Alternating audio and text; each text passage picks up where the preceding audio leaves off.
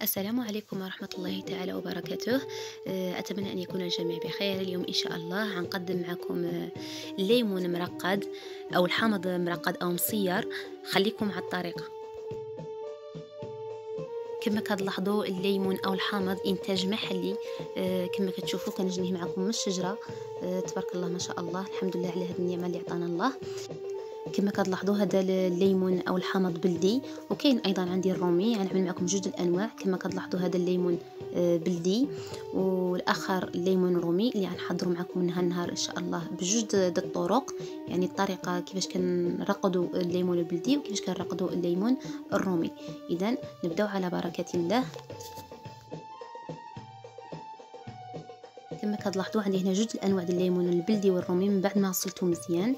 وغنحتاج أيضا كما كتلاحظوا عندي الملح.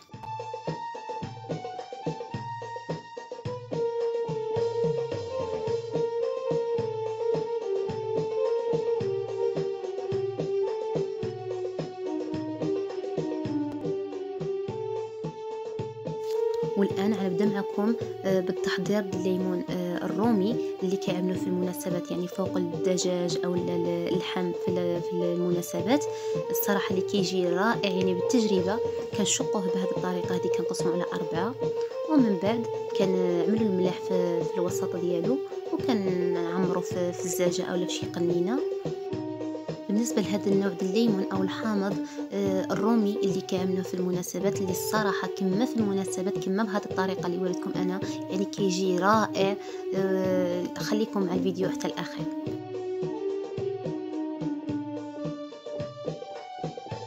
إذا ملي ملعت القنينه بالحامض آه كنضيف عليها جوج الملاعق من الملح.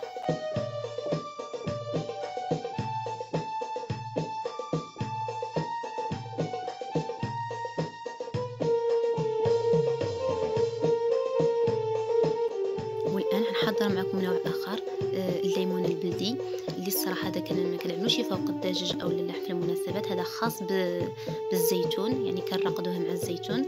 إذا كما كتلاحظوا هذا غنقطعوا على طريفات صغارين وغنوضعوا في هذا الإناء اللي عندي أنا.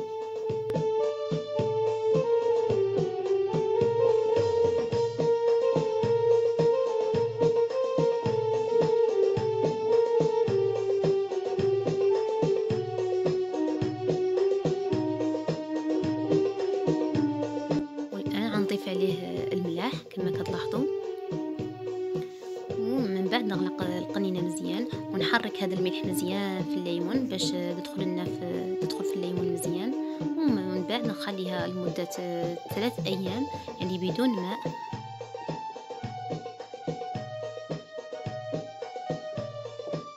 إذا كما كتلاحظوا ها هو الليمون عندي محضر.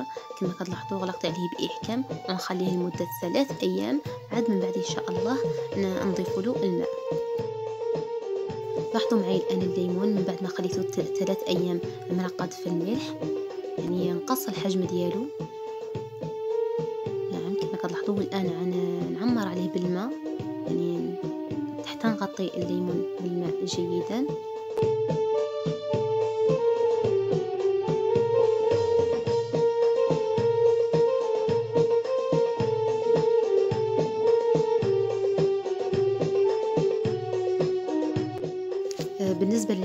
الرومي كما كتلاحظوا أنا نغلق عليه يعني آه، جيدا.